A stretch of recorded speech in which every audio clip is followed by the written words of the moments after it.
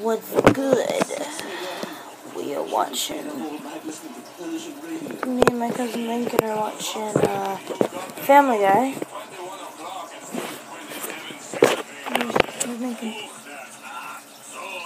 He dated the, uh, the devil is inside the girl if you watch that video.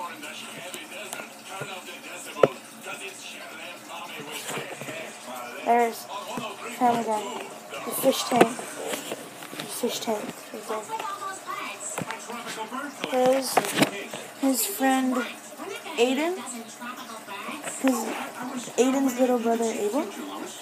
He poured all the goldfish food in it. That's why the tank is so orange.